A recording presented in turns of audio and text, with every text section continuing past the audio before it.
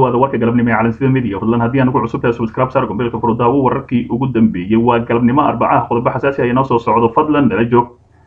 Shirkii beesha murugsada oo lagu iclaamiyey inuu yahay musharax ra'iisul wasaare xasan cali kheyre. Islamarkaasina guddi loo magacaabay ra'iisul wasaare xasan cali kheyre ayaa si toosa beeshiisa ugu sheegay inuu xilka madaxtinimada dalka u tartamayo kursina ku cariirinayo madaxweyne farmaajo. Waxaa maalmihii la soo dhaafay ka socday magaalada muqdisho kulamo ay isugu imaanayeen dhaqanka ganacsatada iyo siyaasiyiinta beelweynta murugsade kaas oo loogu arrinsan endeeyey doorka siyaasadda dalka ee beesha murugsade kulankii ugu dambeeyey oo ay shalay ka dhacay magaalada muqdisho ayaa waxaa si toosa loogu iclaamiyey in beesha murugsade ay sanadkan qayb ka noqonayso tartanka doorashooyinka madaxweynaha soomaaliya kaas oo ugu qayb galayo xasan cali kheyre. Arrintani ayaa ahayd mid in muddo ahi laga sugayey in ra'iisul wasaare xasan cali kheyre afkiisa ka soo baxdo laakiin ugu dambayntii shalay ayaa go'aankaasi soo baxay waxaana beesha horteeda laga sheegay in ra'iisul wasaare kheyre uu taagan yahay kursiga oo iminka madaxweyne farmaajo uu ka fadhiyo. Beesha murugsade ayaa waxa ay magacowday guddi ganacsato ahi oo ka shaqaynan doona.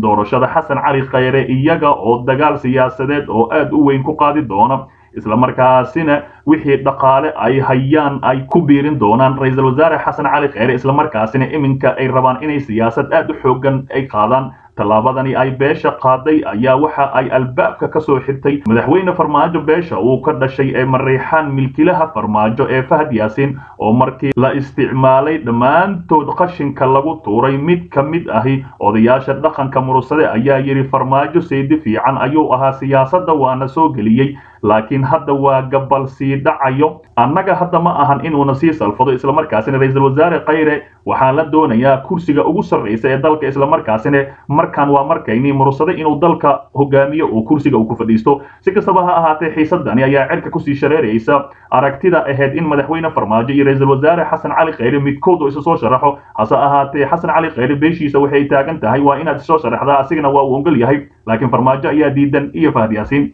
dhinaca kale galmudug oo ka hadashay wararka sheegaya in dhuusamareeb laga saarayo ciidamada harmacadkahi waxaa saacadihii la soo dhaafay soo baxaya warar sheegaya in madaxda maamul goboleedyada puntland iyo jubbaland ay dalbadeen in magaalada dhuusamareeb laga saaro ciidamada harmacadka ee ka amar qaata xukuumadda federaalk soomaaliya. Warbaahinta qaar ee baraha iyo baraha bulshada ayaana lagu baahiyey warar sheegaya in madaxda jubbaland iyo puntland shuruud tegitaankooda magaalada dhuusamareeb in ciidamada harmacadka laga saaro magaalada dhuusamareeb wasiirka warfaafinta maamulka galmudug axmed shire falagle oo warbaahinta la hadlay ayaa been abuur ku tilmaamay wararka sheegaya in madaxda jubbaland iyo puntland dalbadeen in ciidamada harmacadka laga saaro caasimada galmudug. Waxa uu sheegay wasiirka in warkaasi yahay barabogaando ay fidinayaan dad ka soo horjeedo shirka ka dhacaya dhuusamareeb waxa uuna caddeeyey in aysan jirin wax shuruud ahi oo madaxda ka qayb galaysa shirkaasi dhankooda ka yimid. Hadalkani ka soo baxay maamulka galmudug ayaa ku soo aadaya xili ay filayo saacadaha soo socda la filayo saacadaha soo socda magaalada dhuusamareeb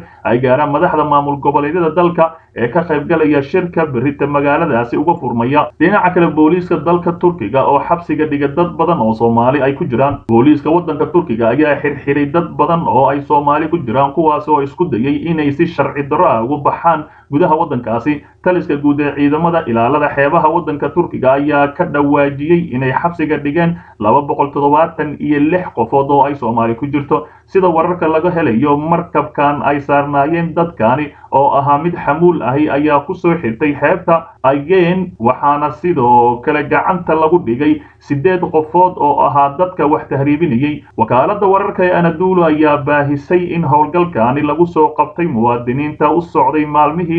maalmihii ugu dambeeyey waxaana la sheegay inay ka soo kala jeedaan waddamada syriya iiraan afghanistan bangaladesh iyo soomaaliya. Inkastoo turkiga uu soo dhoweyn qurux badan u sameeyey soo galootiga waddankiisa ku soo qulqulaya oo u badan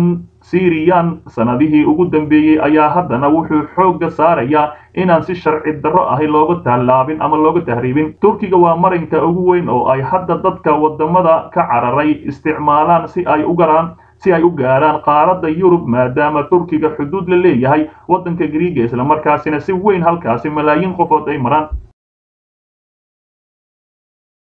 wararkii ugu dambeeyay ayaa ka soo baxaya qarax ka dhacay magaalada muqdisho iyo askar lala eegtay. Haddaba yaa ku dhintay yaase ka badbaaday. Qodobo xasaasi ay noo soo socdo fadlan nala joog. Faahfaahino dheeraada ayaa waxa ay ka soo baxayaan qarax xoogan oo maanta ka dhacay magaalada muqdisho oo lagula eegtay ciidamo ka tirsan kuwa dowladda federaalk soomaaliya. Qaraxa oo ka dhacay degmada hodan gaar ahaan agagaarka madaxtooyadii hore ee cabdiqaasim salaad xasan ayaa waxaa lala helay gaari ay la socdeen ciidamada booliiska soomaaliya. Inta la xaqiijiyey waxaa qaraxaasi ku dhintay ugu yaraan ilaa laba askari halka ay ku dhaawacmeen ku dhowaad shan qof oo kale oo isugu jiray askar iyo dad shacab ah oo waddadaasi marayey sidoo kale waxaa burbur xoogan uu soo gaaray baabuurka la qarxiyey oo ay ku buufsaneed oo aan ku buufsan tahay astaanta ciidamada booliiska soomaaliyeed islamarkaasina gebi ahaanba meesha uu ku burburay. Ilaa iyo hadda ma jirto wax hadal ah oo ka soo baxay saraakiisha laamaha ammaanka oo ku aadan qaraxaasi balse xaaladda ayaa haatan mid degan ah islamarkaasina ciidamada ayaa halkaasi jooga bishii hore ee juun siddeed iyo tobankeedii ayay ahayd markii qarax noocan oo kale ahay oo ka badbaaday taliya ku-xigeenkii hore ee ciidanka xoogga dalka soomaaliya genaraal maxamed cali bariisi kaas oo lagula eegtay agagaarka meesha uu maanta qaraxa ka dhacay balse wuxuu khasaare xoogan ka soo gaaray dad shacab ahi oo la socday mootobajaad islamarkaasina halkaasi dukum daakum oo ku dhigay. Si kastaba ha ahaatee qaraxyaasha miinooyinka oo waddada lagu aaso ayaa ma bilihii u dambeeyey soo badanayey walow aan inta badan la hakiyey qarax gaari buuxa laga soo buuxiyey maalin dhaweyd ayay ahayd markii meesha canshuurta ee dekeda magaalada muqdisho lagu qarxiyey hase ahaatee miinooyinka ayay inta badan iminka adeegsadaan al-shabaab. Dhinaca kale gaadiid nooca aan xabadda karin oo maanta laga dejiyey dhuusamareeb iyo ujeedka laga leeyahay wararka laga helayo degmada dhuusamareeb ee xarunta gobolka galgaduud ayaa sheegaya in diyaarad sida gaadiidka nooca aan xabadda karin ay maanta ka degtay garoonka diyaaradaha magaaladaasi. Baabuurtan buruufka ee xabadda oon karin oo laga dejiyey dhuusamareeb oo gaaraya ilaa laba ayaa waxaa la sheegay in lagu tala galay in lagu qaado laguna soo dhoweeyo madaxweynayaasha maamul goboleedyada ee tagaya halkaasi ee ka qaybgalaya shirka ka dhacaya magaaladaasi ee shirka maamul goboleedyada. Sidoo kale waxaa diyaargarow xoogan laga dareemayaa caasimada galmudug oo beri uu ka furmayo shirka ay ku leeyihiin dhammaan madaxda maamul goboleedyada dalka islamarkaasina qaarkood ay si weyn iskaga soo horjeedaan villa soomaaliya. Sidoo kale waxaa si aad ahi loo adkeeyey amniga iyadoona ciidamada dheeraad ahi la dhigay jidadka muhiimka u ahay dhuusamareeb dhinaca kale waxaa magaalada ka socdo qorshe loogu saarayo ciidamada sida gaarka ahi u tababaran ee harmacad kadib markii ay dalbadeen madaxweynayaasha puntland iyo jubbaland oo weli khilaaf u dhexeeyo dowladda federaalk soomaaliya shirka dhuusamareeb oo sagaalka bishan oo beri ku beegsan ka furmaya ayaa waxaa laga filanayaa in laga soo saaro warmurtiyeed ku aadan xaaladda dalka iyo doorashooyinka dalka. Si kastaba ha ahaatee axmed madoobe iyo saciid dani ayaa dalbaday in gebi ahaanba harmacadka halkaasi laga soo qaado maadaama harmacadka ay daabacsan yihiin. Madaxweyne farmaajo iyo khayre ee villa soomaaliya wax kastana ay dhici karto waa laba boqol oo askari islamarkaasina xamar ayaa loogu daabulay hase ahaatee waxay ka cabsanayaan in mar loo adeegsado inay ciidamadaasi markay shirka ay soo fadhiistaan gebi ahaanba soo afduubaan magaalada muqdishona ka soo dejiyaan. Dhinaca kale askarigii labada kun shilin soomaaliya u dilay cumar xasan oo dil lagu xukumay. Maxkamadda ciidamada qalabka sida ayaa maanta ku dhawaaqday xukun dil ahi oo loogu riday ama lagu riday dable boolis labaatan iyo afar labaatan iyo afar lix sideed laba nuur daahir geedi oo lix iyo laba lix iyo bishii lixaad laba kun iyo labaatanka degmada xamar jajab ku dilay cumar xasan macalin oo ah toddobaatan jir gudoomiyaha maxkamadda ciidamada qalabka sida gaashaanle xasan cali nuur shuute ayaa sheegay in dable boolis nuur daahir lagu xukumay dil toogasho ahi oo khisaasta marxuumka cumar xasan macalin. Eedaysana nuur daahir geedi ayaa horay u qirtay inuu geystay falka dilka ahi ee lagu soo eedeeyey. Sidoo kale dhegaysiga dacwadda ka dhanka ahi nuur ayaa dhacday shantii bishan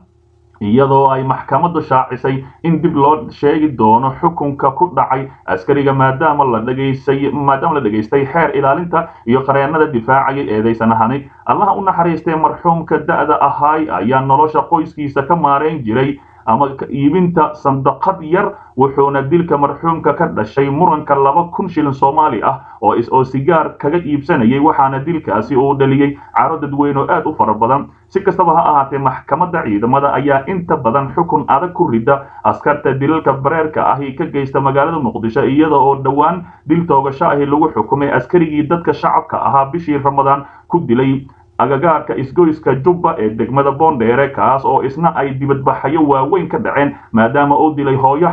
umul aheyd iyo wiil kale islamarkaasina asiga dil toogashaa lagu xukumay